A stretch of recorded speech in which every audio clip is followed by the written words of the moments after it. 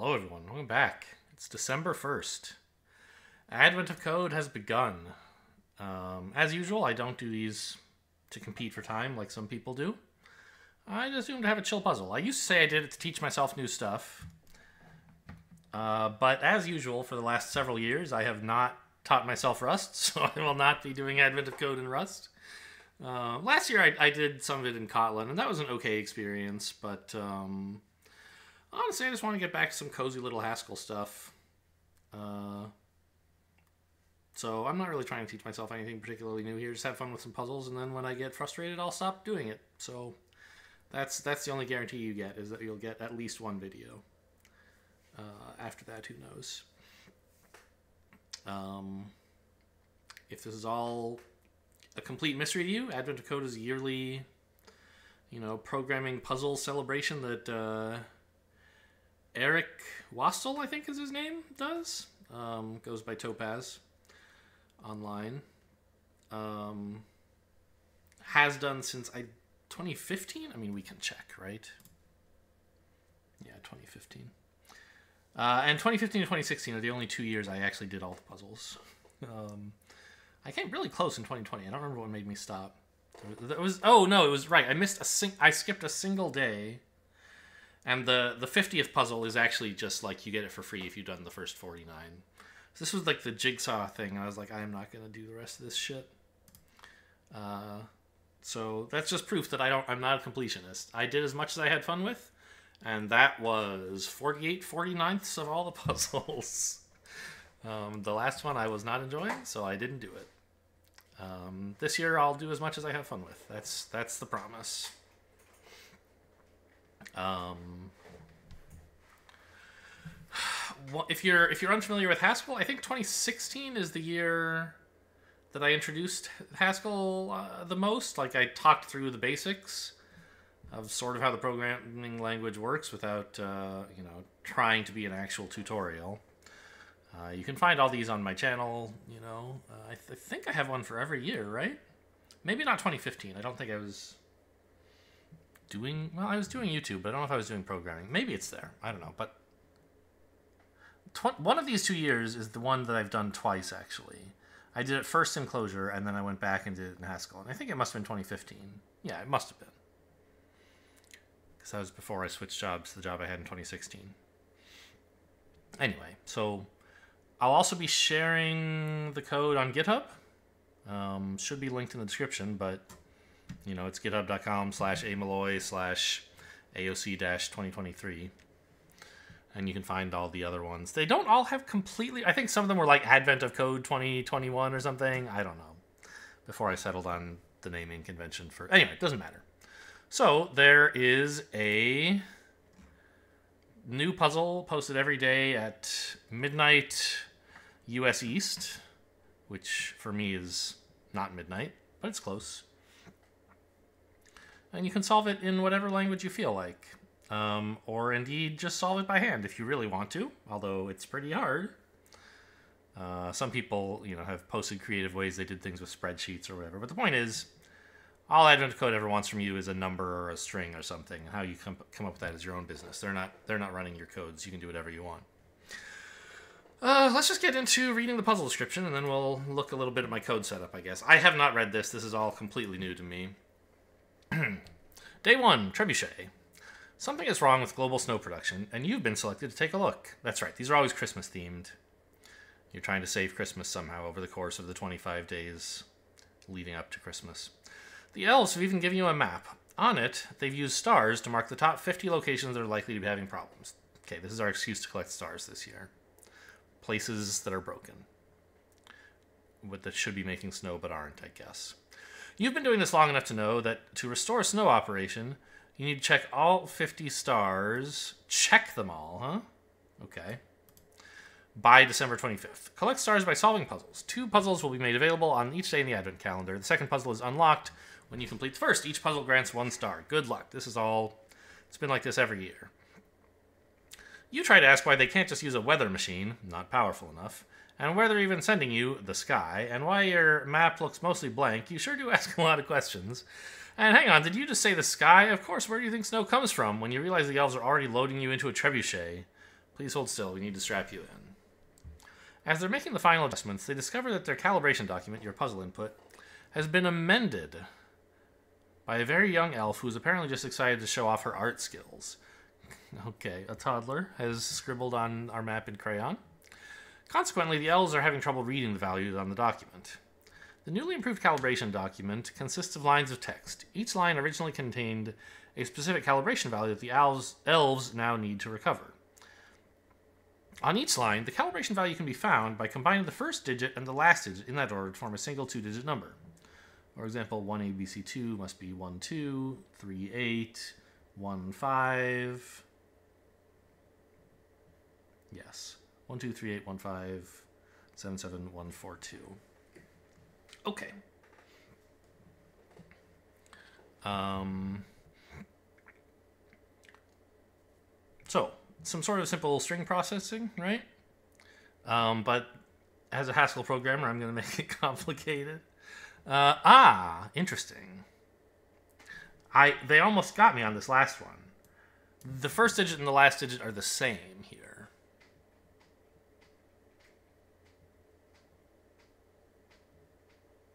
Okay, well, maybe I won't make this too complicated, actually. I was thinking, I, I like playing around with the regex applicative package, which is a more combinatorial way of writing things that are regular expressions than the, the string-based embedded language that most uh, programming languages use. And I was imagining ways in which I might describe how to parse these lines.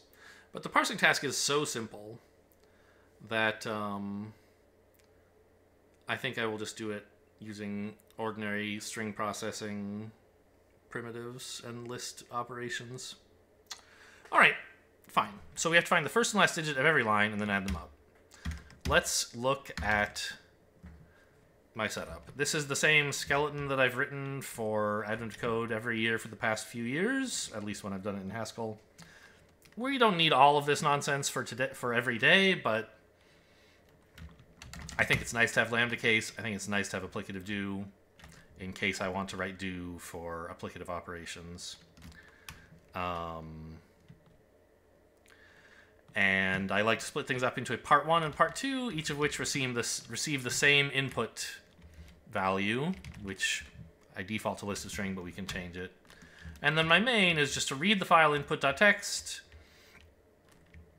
and then hmm. Anyway, then and then prepare the input by turning it from the single raw string you get from read file into an input type. Uh, and then run part one and part two on it and print the result as a tuple. So that's the idea. Um, I also have a bunch of useless garbage in my Cabal file that I would not do if I were a good project manager who cared about dependency hygiene. I just put in all the packages that I frequently use, so I have them all without having to edit my Cabal file. Um, or even that I don't frequently use, but that I want to play around with, like recursion schemes. Um, Okay, so that's the Cabal file. And we can see if I, you know, if I run main right now, it says, oh no, there's no input file. Yep, you got me. So I wrote a little, I mean, I say I wrote. I have a little program that downloads my input. I say, get me the input for day one, and it stores into input.txt. And then we can say main, and it says, oh, the solution is unit unit. Great, no information, but you know, our our little skeleton for the main thingy works. Uh, for this this year, for the first time only, this is not a terribly exciting thing, but um, previously I have been reluctant to share the the program that downloads my input. I'll share it now, not because it's useful, but because it's kind of like laughable.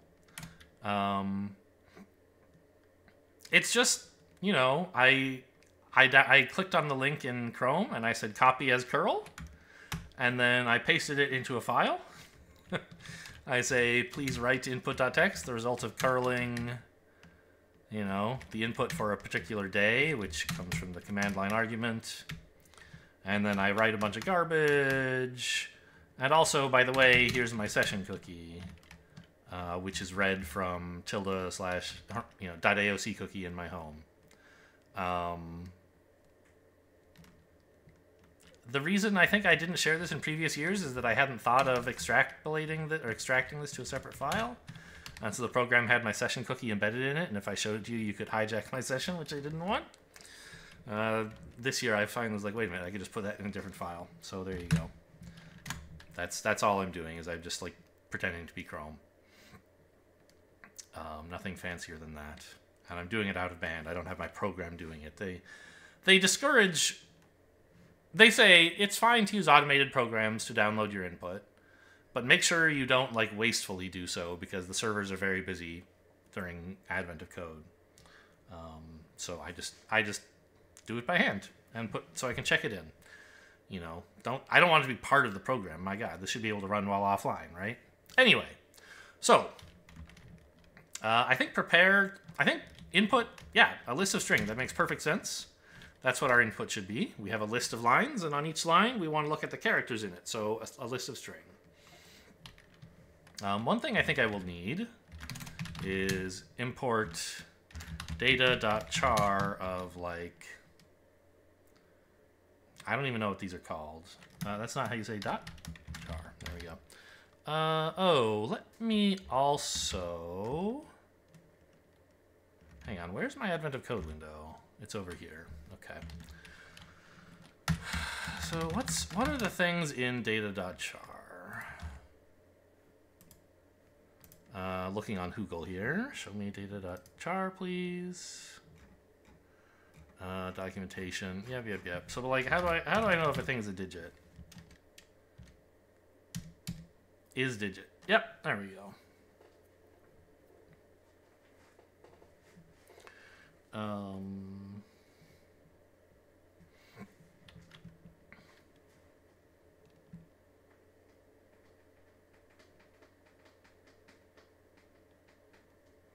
so we have is digit. How do we how do we turn a digit into its... Is it like ORD? No. That's a different thing. Single digit characters. Digit to int. Of course, I knew that. Great. So we want those functions.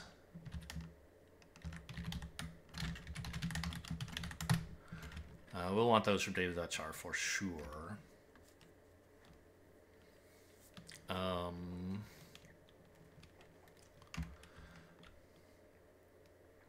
so what we want to do for part one, um, first of all, the result type should be int. I think I could plausibly write this point free, but let's, well, let's try it. Why not? It'll be fun. Um, so first thing I want to do is map it's sum of map row. Oh, what, what do they call the calibration? Uh, okay, calibration value. Calibration value where calibration value of a row is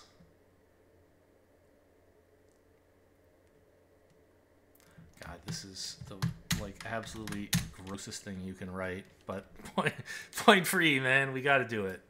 Um, let's see. Let's add up.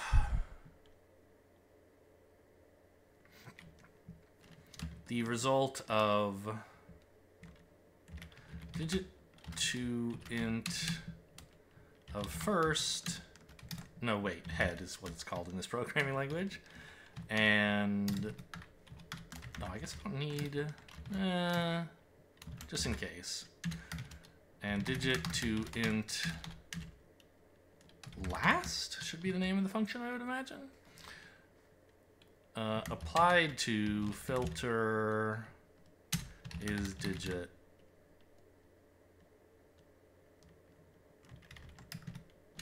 mm, composed with filter is digit? This is I'm really killing myself here. Oh, it's it's inferred the type that uh, calibration value should have here as list of char to int. Well, that's nice. Maybe this is right after all, and if it is, then uh, then I'll explain to you what it is I'm trying to do. Oh, I guess I should... Okay, it, it compiles. Good, good. My, my Haskell IDE setup gets jankier and jankier every year. Because I don't put any effort into maintaining it, and like things just kind of rot a little bit. Uh, so let's just try stack run.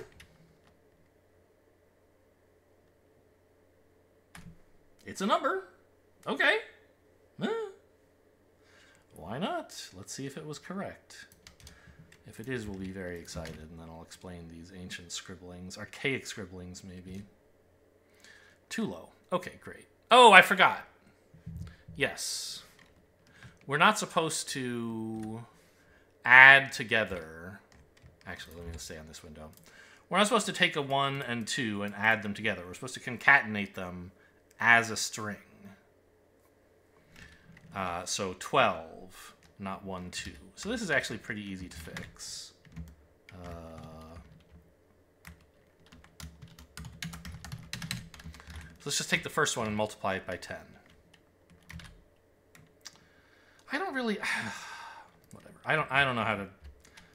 My interactive... I have, like... I'm, I'm in LSP mode. It shouldn't be that hard to get interactive Haskell running, but I'm too stupid to figure it out, so I just have a separate window where... Uh, um, where I have GHCI running. That's a bigger number. And it's bigger by like 40,000, which is about what we would guess based on the error I made, right? It's off by, I'm sorry, about a factor of 5. Because instead of like 10, instead of like 10x plus y, I had x plus y. So I was off by like I had two elevenths of what I should have had. So this this looks like about right. Um, let's try this again.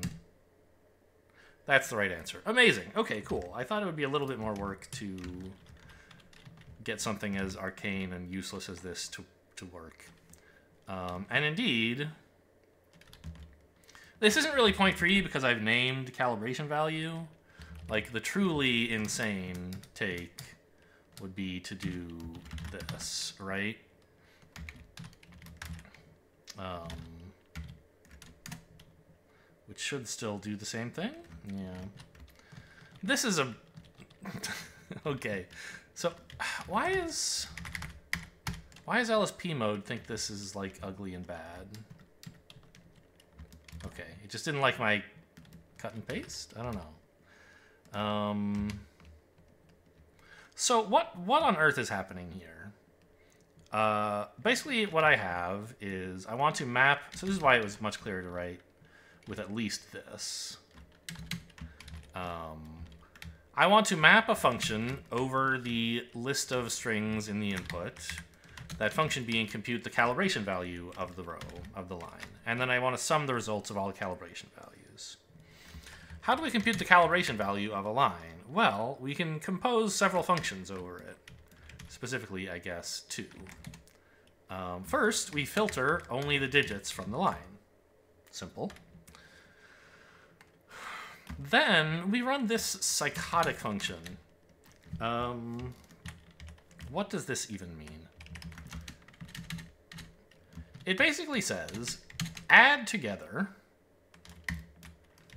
the and, and then we're like working in the function applicative, which is bad style and nobody likes it, but I find it kind of hilarious. Um, and it's concise. Um, so we we need to find a function from character to actually from list of character. And if we were to ask somehow, although I can't figure out how, if I were to ask LSP mode, what is the type of this? It would say, oh, this is a function from list of string to int. Um, and that's we could, we're giving it a list of the digits in the string, and it's producing an int for the calibration value. So like that's correct. That that's what we wanted. Um, working in the function monad slash applicative, we're basically leaving implicit the argument to the function and just accessing it via applicative machinery. So this says, I'm going to give you a two argument function and then two other functions. uh, when you use this, you know, dollar and the, the, the applicative sigils here. The first function, each of these functions you should call on the input to the overall function we're producing. Then you should call plus on the result of those two functions. So we're basically saying add together the results of these two computations on the input list of di di uh, digits. Oh, actually, hang on. I can do this a little bit nicer, can't I? I can remove the repetition of digit to int. And now it actually looks a little bit more tolerable if I say this, right? Filter out the digits, convert them all to ints, and now I have a function from list of int to int, that function being find the last one and the first one multiplied by 10, and then add those together. And now this actually looks like kind of legible in my opinion. You know, they called me mad. Mad, I say. Uh, but who's laughing now? It's me. I, I don't know. I think this is kind of pretty. Um, you know, we, we could instead do something else, like say... Um, we, we could make the argument non-explicit and say, you know, uh,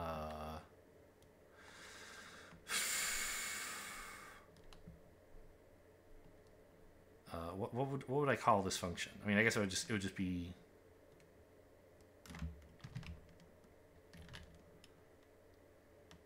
I only want to replace this part. What do you call this? You know, first and last as number of x's is 10 times head x's plus last x's, right? Like, we could write this. Um, and then this would be first and last as number, right? And this is, like, pretty straightforward, but it's also, I don't know, it's not as much fun, so I'm going to write this. Um, I don't I don't know exactly what I want out of Advent of Code, but this is some of it. So let's go ahead and add that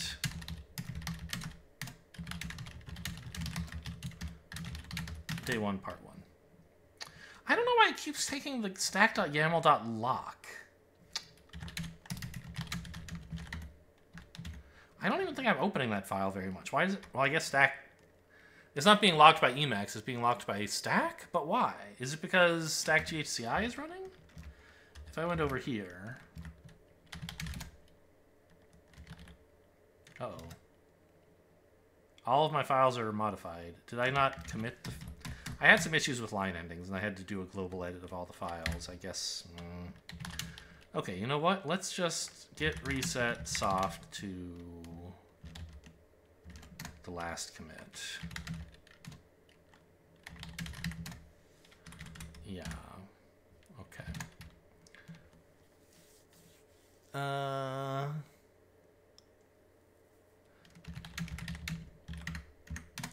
Okay, there's...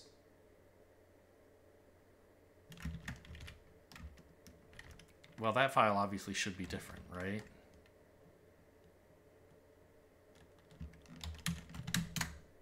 There we go. That's the difference between the committed value. I think I didn't actually mean to reset soft. I meant to reset mixed. But either way, it looks okay. Um, so let's get rid of the soft. I just put the soft in because like that's the the way to make sure you're not ruining anything. And now if I look at diff dot, yeah. It's, it's all this. Okay. Bleh. Um. All right, let's try it like this. Git commit source day one, part one. We'll commit that, and then we'll say git commit fix new lines for whole project. And then let's git rebase dash i so I can do this in a different order. So let's say I did this before that then. So I have day one, part one, project skeleton. So how do I merge these two together, right? It's a little bit... If it weren't the first commit, it would be easy. But editing the first commit is kind of weird, right?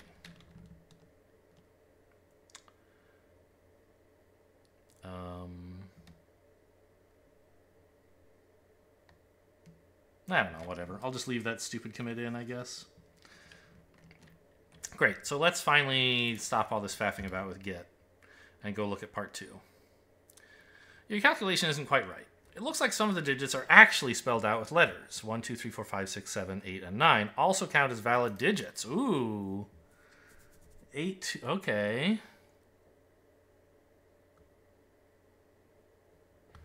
Now, okay, this one, A23. What are we meant to... I, obviously, the 2 is in here to make it like... It blends with the 8 to make things more difficult.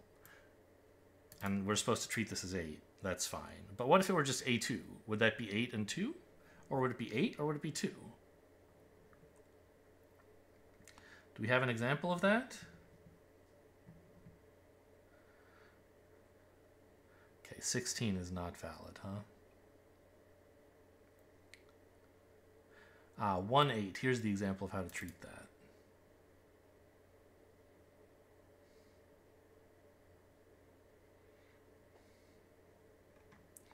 So the last line has 1 8. Oh, but the last one says 4. So we can't quite read this as saying like what if there weren't a 2 3 4 at the end? How am I supposed to process that? I see stuff like Twun.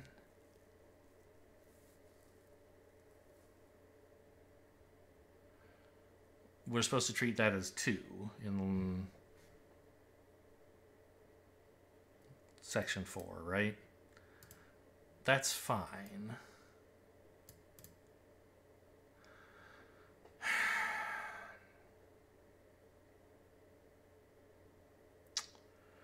So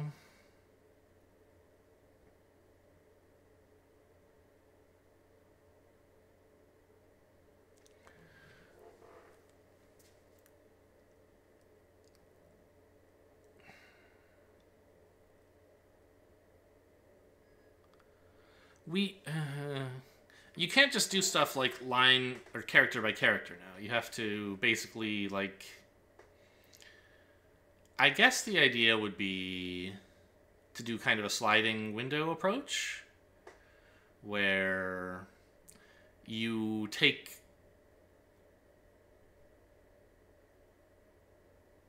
yeah, I guess Tails is pretty good for this, right? You take each substring of the string, trimming off one character at a time from the from the front, and then you say is there a digit starting here? Um, right? And you you map that over all the tails of the string, keeping the ones where there are, I guess. Or all, all the indices in the string, or the, the sub the tails of the string, as Haskell would call it so let's let's actually look at Tails as an example here. Um,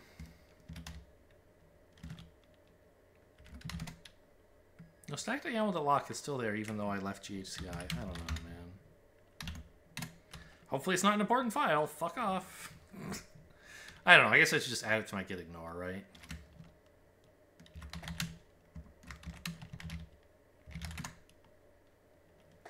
It's not already there? Did I already add it to my...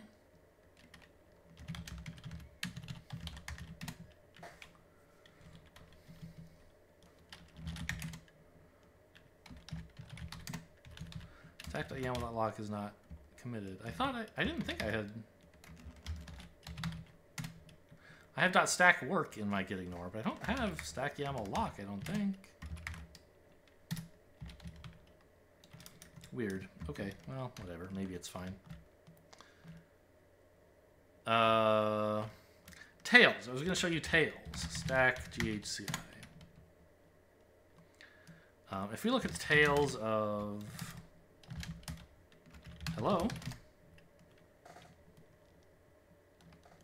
In data.list? Import data list tails? Yes. So it basically gives us the result of removing one character, then the result, or zero characters, then one character, then two, then three, then four, and, and so on forever until we're out of characters in the string. And I guess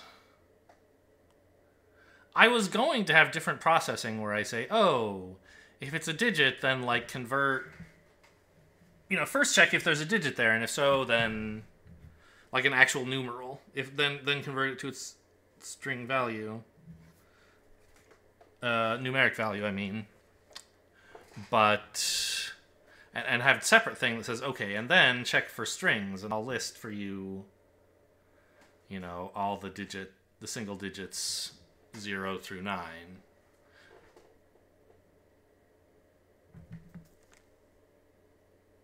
But I think it would be better to make those two steps uniform, right? So what I imagine then is, I guess we'll put it in part two, or above part two, after part one. Uh, a digits, digit Sure. Digits is a list of tuples of string and int, right?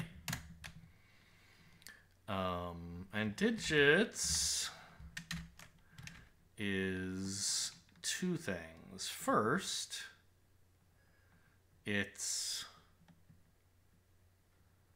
um,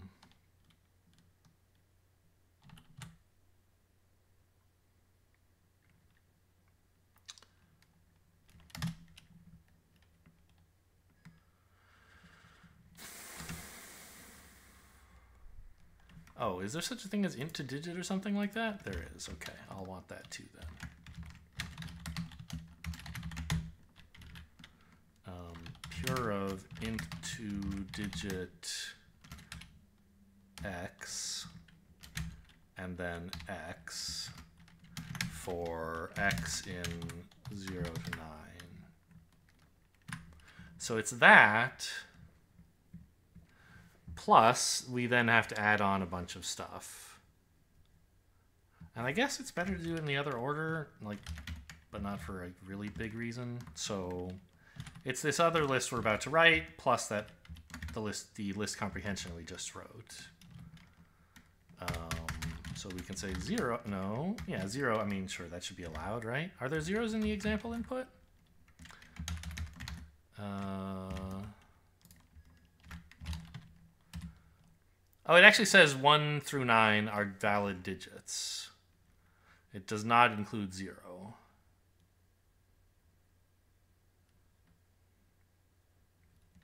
Let me go look at my input file.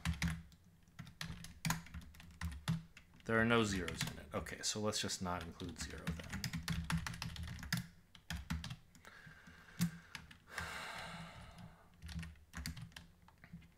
So we have 1 scores 1. 2 scores 2. 3 which scores 3. 4 scores 4. 5 scores 5. 6 scores 6. 7. Look how many letters there are in 7. Scores 7. Oh, let's split it up after four, shall we? Uh, the weird Haskell style for lists is this. So that the commas align with the opening brace. 8, 8, and 9, not 9. And then line up the closing brace as well.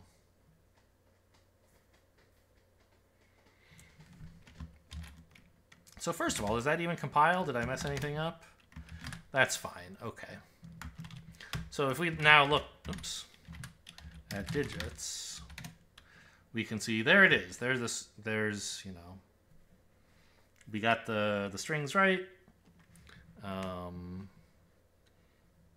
both both the manually written ones, I hope, and the ones that uh, that we converted just from single digit numbers. Um,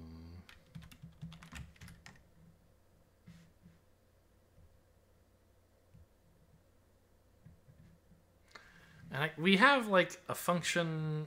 hmm.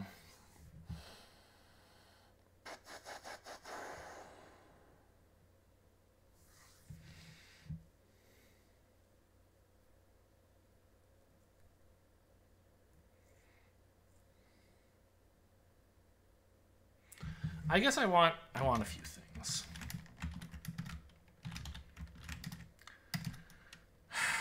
Let's say part two is again. I assume we're supposed to add these up.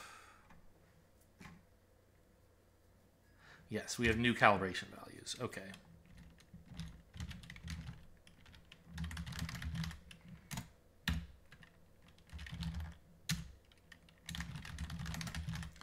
Calibration value of a string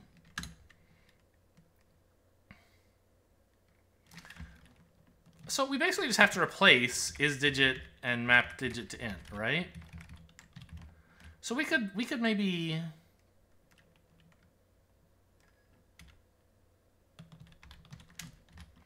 maybe what we could do is a calibration value is a function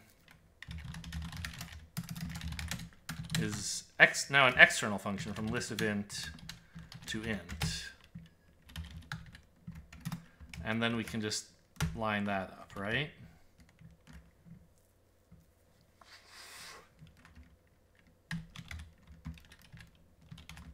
Um, I think we want to map maybe here, which might have been a kind of cool thing to do previously. I don't know. Map maybe of decode digit. Let's say where decode digit of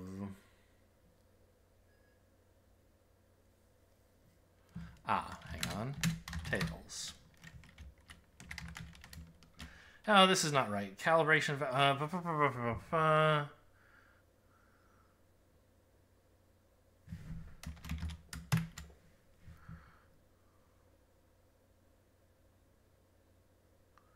Is this right? So map maybe we're calling tails on each on the input, which is a list of string. No. We're mapping maybe over tails. So we're calling tails on each line, which is what I want. gives me a list of list of int. Then I call decode digit on that list? I don't think so. I want to map decode digit over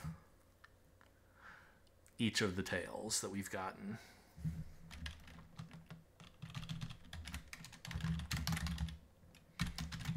Data list tails, import data maybe, map maybe.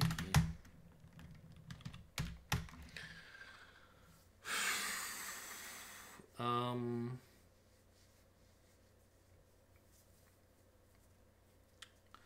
So decode digit then is given a substring after having trimmed off some of the beginning, basically, right?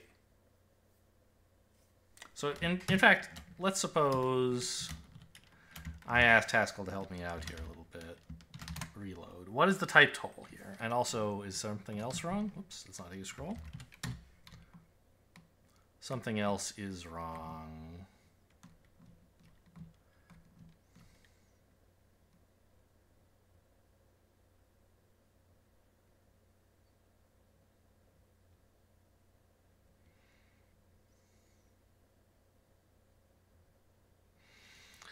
Yeah.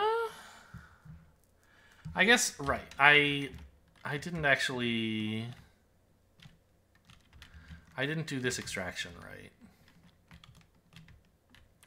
Because calibration value...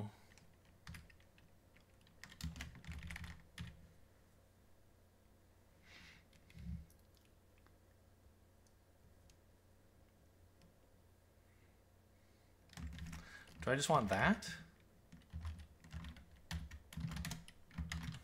No, of course not. Uh, well, maybe. Almost. Yeah, suddenly the first part compiles fine. It's only the, the new function I'm writing that's wrong. Decode digit.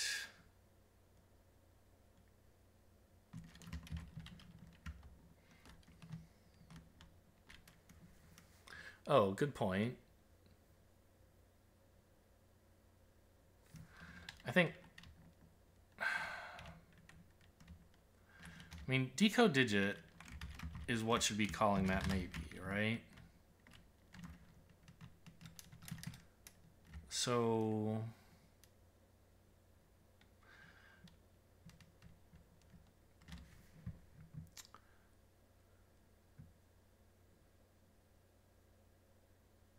Map calibration value.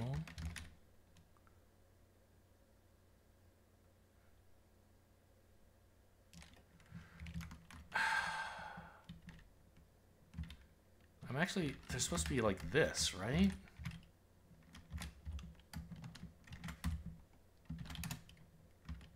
Yeah, so that type checks, and we need, we have a hole there that I haven't written, and it says, it's of some type. You haven't told me what you expect to return, so who knows what it's supposed to be, man?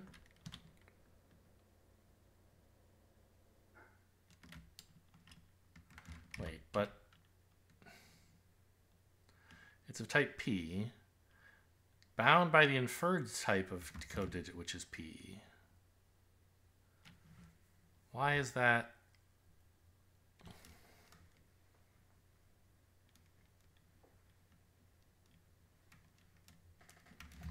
Why is that completely unbound? It's a rigid type variable.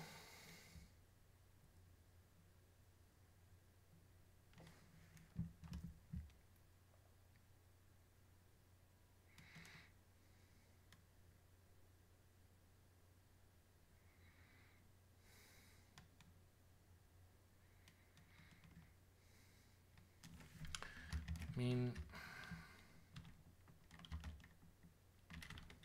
if I say it's of type list, it's type string to maybe int. That's sort of what I think it should be.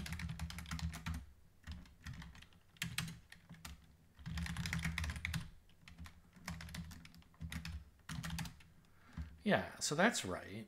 Now, if I said it was type like string, would you be okay with that too for some reason? It seemed like you were saying it could have any dang type at all. But I would I guess I just misunderstood you. Huh.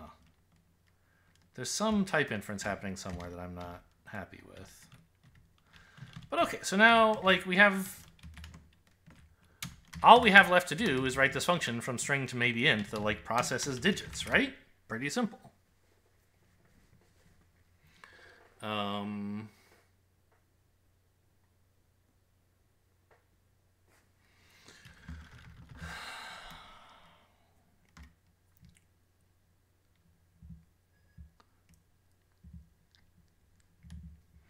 we iterate over the values in digit and see whether, oh, I need data list is prefix of, right?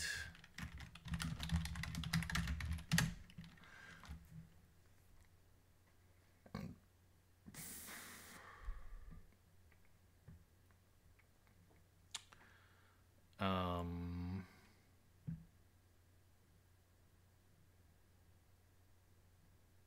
I want to do like a list comprehension, obviously, over the input, but it's like I've kind of painted myself into a weird corner by using map maybe when really what I want is a list operation, right? Like I want a function. Well, anytime you start a sentence with "I want a function," maybe you should look on Google, huh? Um, no, get out of here. I don't. I don't. I don't show you guys my browser anything, just in case.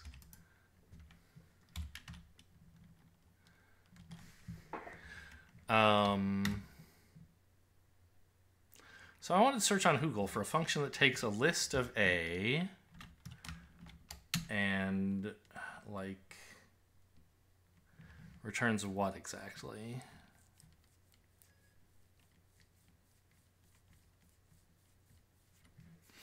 And returns, oh, and an A, let's say. No, I don't want a default value. I want to skip it. What what is what is bothering me here? Why am I bad at this?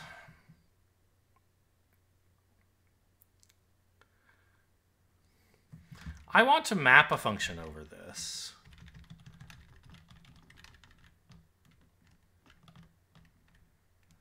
And get back a list of only the successful results. That's what map maybe is for. It's just a little bit weird to leave the list monad to enter maybe for a second and then go right back to lists, but I guess that's just life. Um,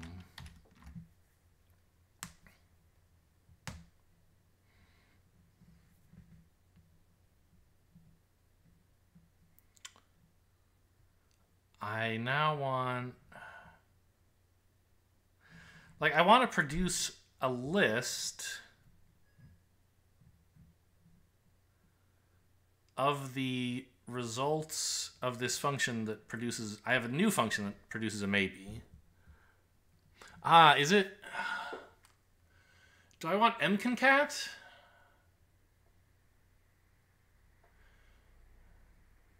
Cuz I I kind of want to produce a list of maybes and take the first one. The first just.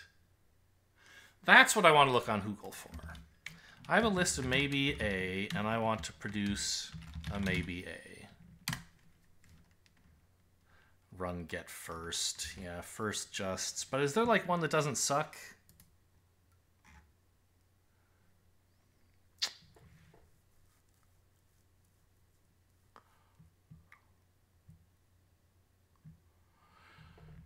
Because, like, kind of what I want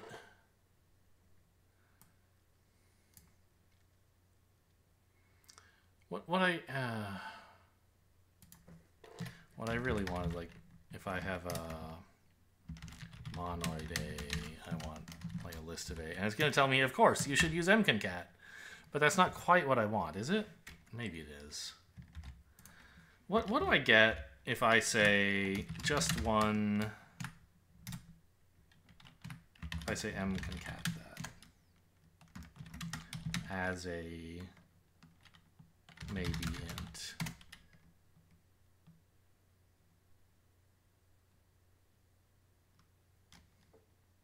Really? Oh, wait. No? Why is... Uh...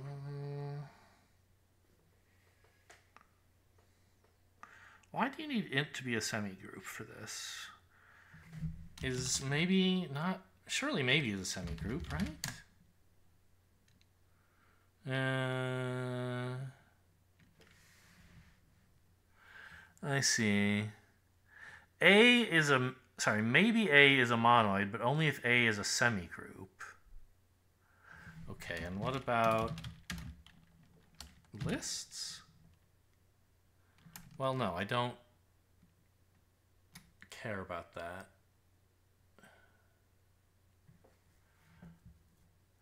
So, like, probably what I'm supposed to do is look up here. There's, ooh, alt? So basically, yeah, I guess this makes sense. You, you can't get a monoid out of maybe without biasing it to left or right. Um,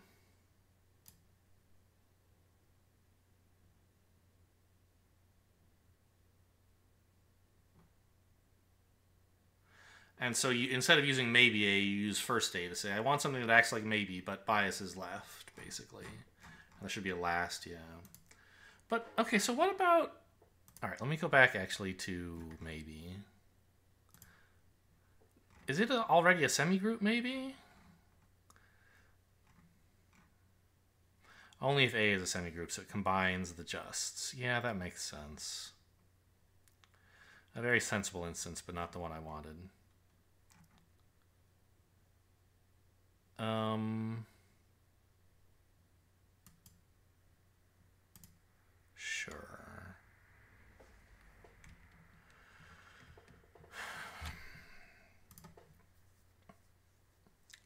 All right, so I mean, I guess what that means is we can, if we want, import data monoid. I assume is where that was. Uh, oh, it's in data maybe? No, I'm in the wrong place. Data monoid, yes. Data monoid of first and get first. I want to think of this as a monoidal operation and not some like bespoke thing that we're running. Actually, I don't need any of the constructors. I just need first and get first, right? Yeah. Um,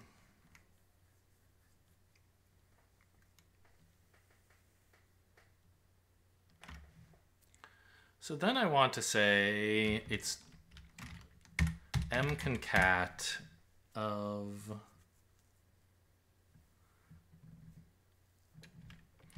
map decode digit of s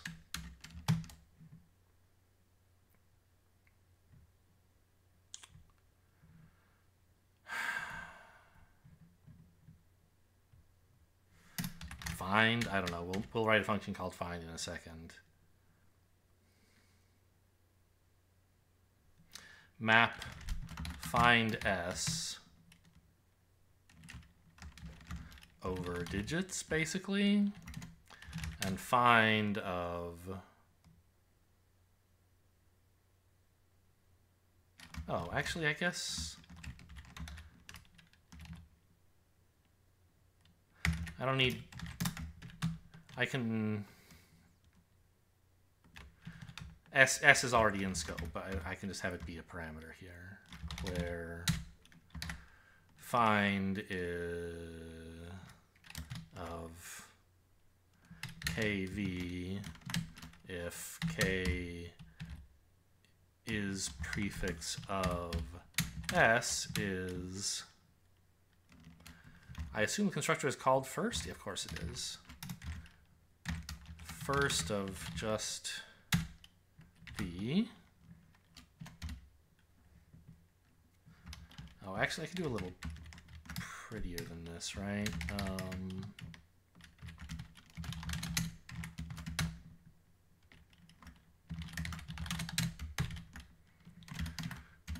otherwise is nothing, right? Does that, does that make any sense? What do you think, Haskell? You don't like it.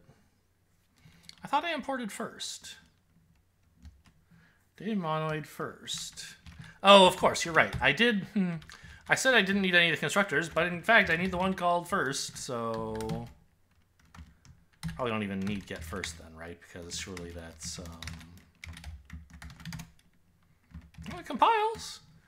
Yeah, so give me first the type, and then also its constructor, namely first, and its accessor, namely get first so here's here's my idea for part two. We say get the tails of the input. For each one, try to decode a digit. And give me a list of the results of trying each such thing. Uh, but throw away the times where you failed. Or, well, try to parse each digit, throw away the ones that failed. Now I have a list of digits. I want to map that function over all the lines.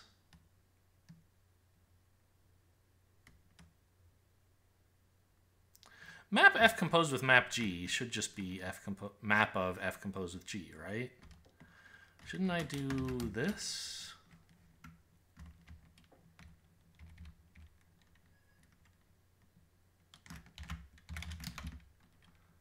Isn't isn't this fine? It is, okay. So we, we are mapping a function over the lines that we're given. That function is Give me the tails of that list. Then try to decode that into a digit, but throw away the ones that fail. Of the ones that you succeeded with, call calibration value, the function we already defined, that gives you 10 times the head plus the last.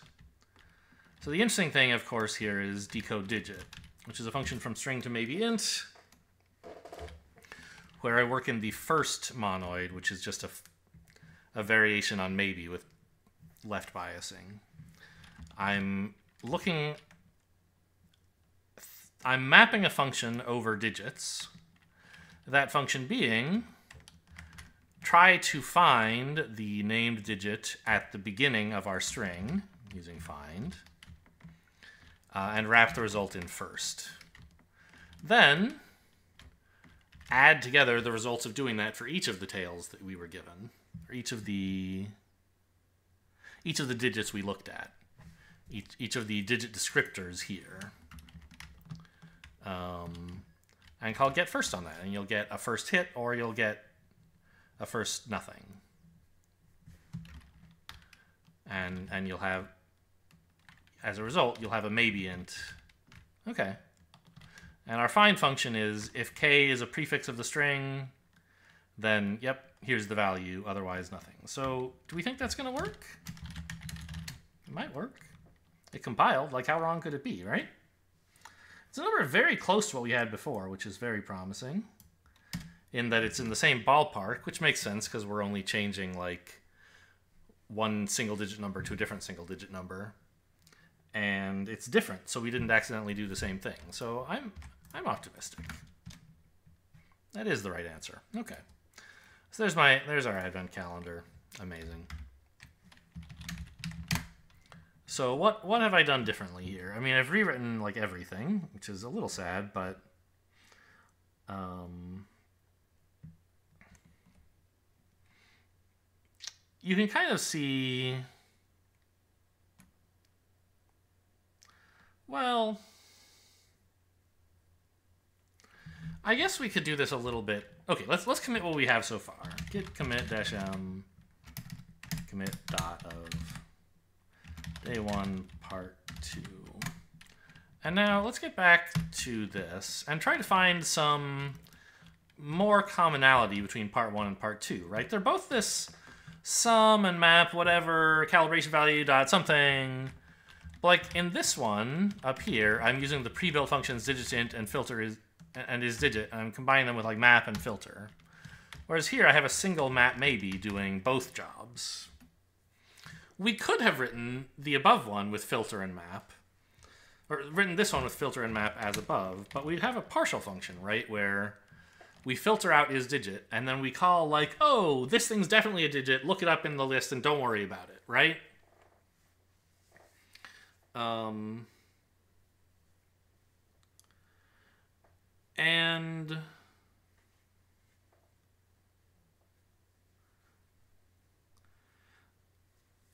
in some sense, like we already had that problem. Digit to int is a partial function, right? It it assumes the input is an int, a digit, you know, representing an integer, and then gives it to you. But like, what if it isn't? You, you probably get an error, right? Digit to int of q. And it's like, what? That's illegal? You can't do that. Um, so that's fair. This this is in some sense less clean. Well, I don't know. Obviously, it looks a lot nicer. Um, but wouldn't it be kind of nice if we had um, taken this map and filter thing and turned it into something that was more provably correct. Um, one approach would be to re-implement like digit to int maybe. Oh, that feels pretty bad. Does that exist? Just out of curiosity.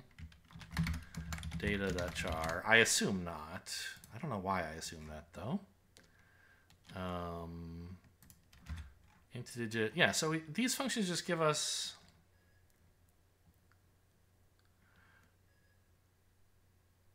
Ooh. Oh, digit int. Okay, right. Wait, yeah, but if I look at is digit, That doesn't allow hex things, right? We, we would have had some problems if I had done that. Is digit. Yes, 0 to 9. Okay. So, but the thing, the, the sort of sad thing is this, we don't have a function like this that that has a signature like our map maybe of decode digit. If we had like a character to maybe int, that would kind of be a pure way to say a non-partial, you know, way. It's fine for your primitive functions to be partial sometimes, but it's nice to get away from that world as quickly as possible. And if we combined these into a single function, then we could use the same map maybe approach that we have here. Um, and then we could factor out some commonality between part one and part two so that they really represent part one and part two only need to be the difference they only need to specify the things that are different between part one and part two of the problem not the things that are the same so what if we said safe if we said digit to maybe int um, is a char to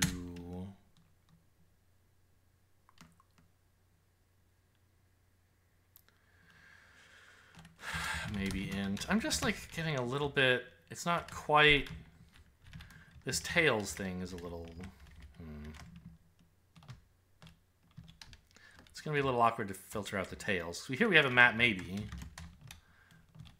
but here there's not really, like this, this represents the map maybe, but the whole tails thing is not quite as easy to filter out, huh? Hmm.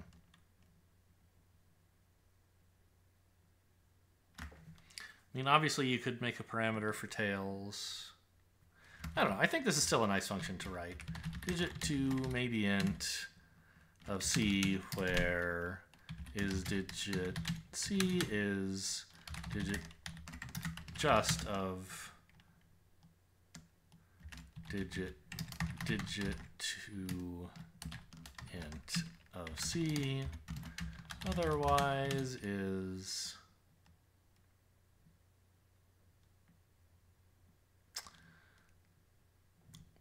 here's a funny idea. What if we abstracted this just a little bit more, just just just for a treat? Um, is nothing, right? And this is you can you can imagine writing a lot of functions in this way, right? Um, so what if we defined a function that took this pattern of call a test function and then if it succeeds, call another function and wrap the result in call a partial function and wrap the result in just, otherwise fail. So what if we said guarded guarded by is takes a function from a to b and a function from a to bool and returns a function from a to maybe b where we have, we have this, oops, get, get over there. Guarded by uh, FP, let's say, such that P of mm, FPX, such that P of X is F of X wrapped in just, and other wise is nothing. And then we could just say digit to maybe is just um, digit to int guarded by is digit, right? Like, does that all type check? Yes, we're not using the new functions yet. But this is actually kind of nice, right? You can you can like make explicit the fact that like well I've got this partial function here and a tester saying whether it's okay to use the partial function. But I don't want to have to do those two steps myself. I'll just give those to you and guarded by will give me back a function that I that'll give me like a maybe. That's kind of nice right and then we can take this and say map maybe of well, we don't even really need to give this a name, right? I just wanted to see if it would type check with that type. map maybe of that, right?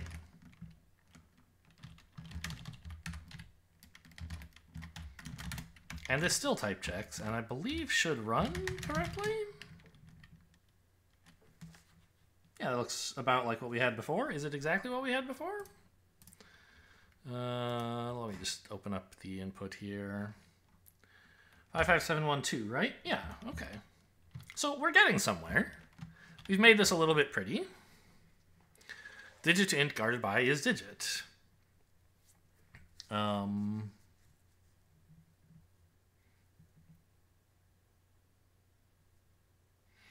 now the problem is, of course, we don't. This this like guarded by idea isn't really useful for part two. Because um,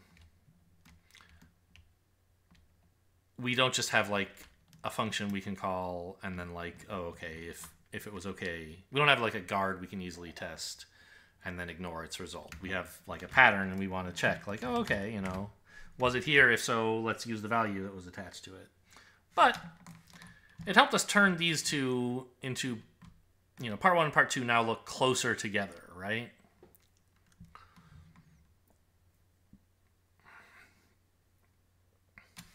Is there already a function with this type on Hoogle somewhere? There must be, right? Nope. Interesting. Okay. Um...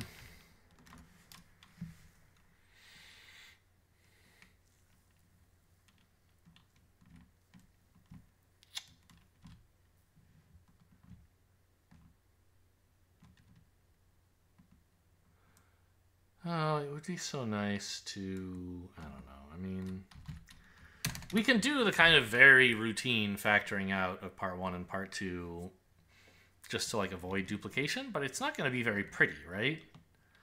Solve takes. Um, you know, a function from input to A, I guess and then a f- fuck. Uh, tell you what, why don't you figure out what type solve has? Um, what I want to do is say solve f and g. It's got to take two functions. Sum dot map calibration value map maybe f composed with G. That's that's what I want. And then we can say solve. Part one is solve of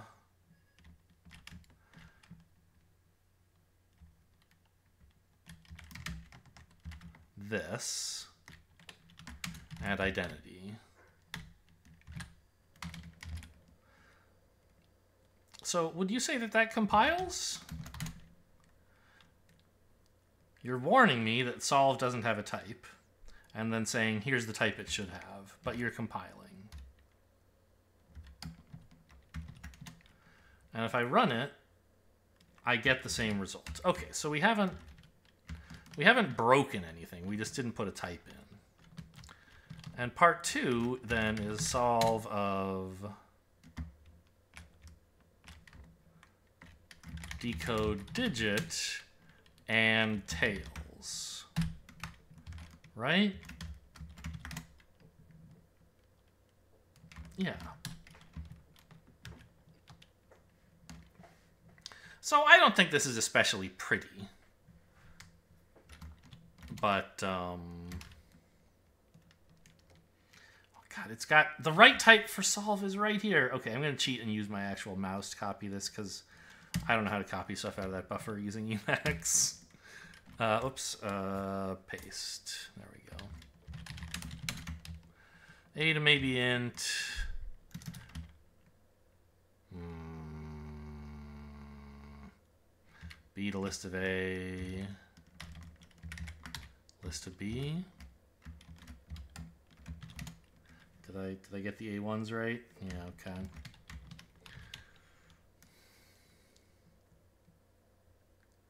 But I think really the A's and the B's ought to be switched the way this is written, right? List of A, list of B, like... This is kind of some... You might... What do you call it when... Like, degenerate, I guess? degenerate refactoring, where, like, you're just removing duplication, but you have no idea what ab abstractions you're defining, and so the result is kind of a mess. Um, but it's it's kind of nice to to factor things out for the sake of it, right? And now each of our functions is sort of fairly comprehensible within itself, right?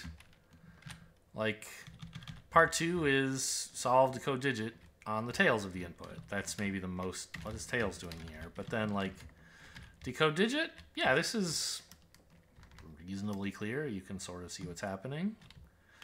Digits, very clear. Part one, yeah, digit int guarded by is digit. That makes sense. Solve. Simple enough that, or short enough that you can kind of digest it all at once. Guarded by, I don't know. So it's kind of a little bit too much abstraction, but that's fine. Not abstraction, really. Deduplication. Abstraction is too lofty a name.